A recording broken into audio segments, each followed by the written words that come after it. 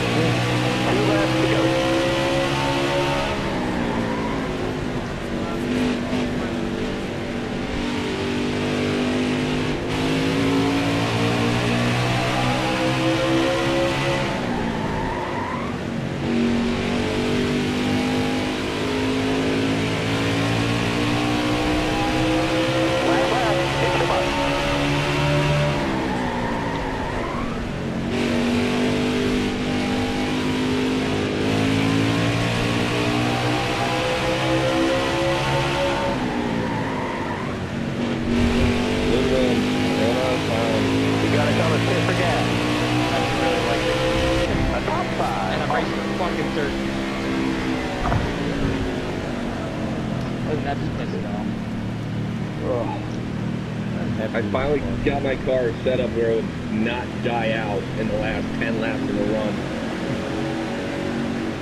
I had mine just set up for the long run on the end there. It just methodical laps.